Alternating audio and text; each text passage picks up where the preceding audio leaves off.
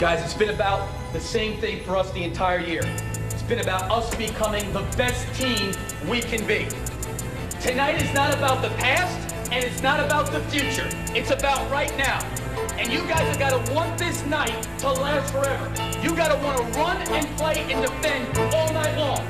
You got to live in the moment and understand there's going to be adversity and there's going to be challenges.